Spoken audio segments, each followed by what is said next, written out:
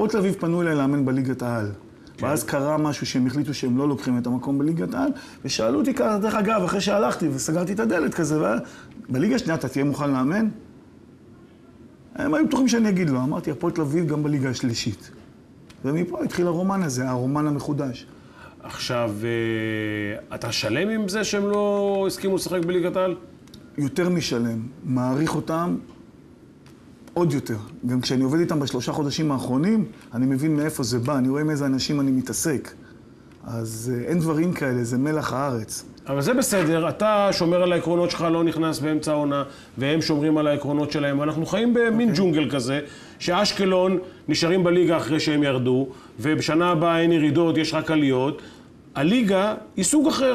אוקיי, בוא, בוא, בוא, בוא נעמיד את זה על דיוק. אני פרשנתי את הליגה הזאת בשנה שעברה. את תל אביב- ליגה לאומית. את הליגה השנייה. הפועל תל כן. אביב היו שישה, שבעה ניצחונות, פור לפני הפלייאוף. כן. כולם ראו שהפועל תל אביב עולים בטוח. אוקיי. הקומבינה לא באה בגלל הפועל תל אביב. הקומבינה לא באה בגלל הפועל תל אביב. ואני חושב שבאמת צריכות להיות 12 קבוצות בליגת העל. אני גם חושב שאם... אני מזכיר לכולם מה היה העונה הקודמת. היו 12 קבוצות, לא הייתה החלטה לצמצם ל-10, פשוט עפולה, רמת גן, נהריה, והבקעה שעלו ליגה לא לקחו את המקום, אז בכורח הנסיבות פתאום נהיו תשע קבוצות. מבחינה כלכלית. ואז הזמינו את, אה, את אשדוד, ממקום חמישי להיות קבוצה עשירית בליגה. לו, בתום סדרת חצי הגמר, אחרי שהבקעה ניצחו את יבנה והפועל תל אביב ניצחו את מגידו יוקנעם, היו אומרים שתי הקבוצות עולות. הסדרה היא עכשיו, היא למען הסמנטיקה, אלוף האלופים, הפועל תל אביב היו עולים. ברגע שהם הפסידו, הם לא יכלו לעלות ממקום שני תמורת קניית מקום, תמורת אה, הורדה בתקציב, זה אבל מנוגד אתה לערכים. אמרת לי עכשיו, אש- אה, אשדוד באו במקום החמישי. אשדוד זה לא הפועל תל אביב. רגע, אשדוד זה לא הפועל תל אביב. אשקלון. כל אותם יפי נפש שהיום אומרים, למה הפועל תל אביב לא עולים, הכדורסל צריך אותם, ברגע שהפועל תל אביב היו עולים למעלה, הם כמו סטייקים היו מתהפכים. הפועל תל אביב, איפה הערכים, הפועל תל אביב עלו באוונטה, כל הסיפורים האלה. אז הפועל תל אביב ינסו לעלות, ואני רוצה להאמין שאנחנו נעלה, זה יהיה קשה מאוד, אבל בדרך הספורטיבית, אלה הערכים שחונכנו עליהם בספורט.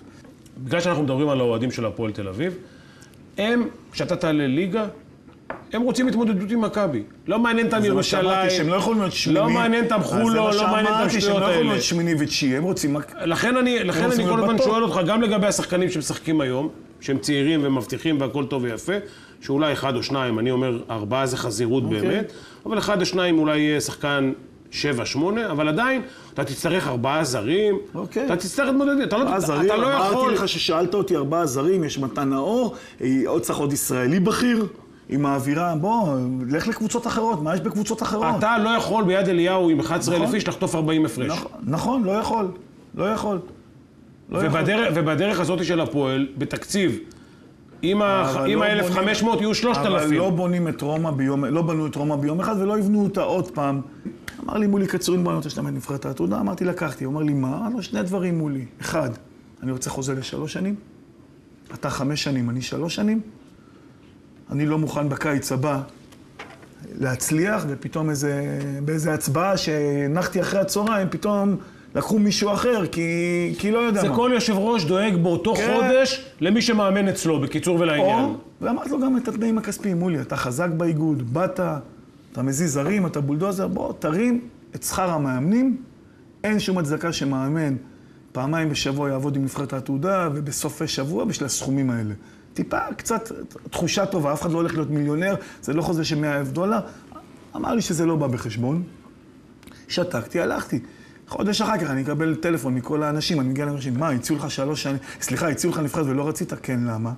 אז למה לא באת להגיד לנו שרצית שלוש שנים? אנחנו באיגוד מחפשים אנשים לשלוש שנים.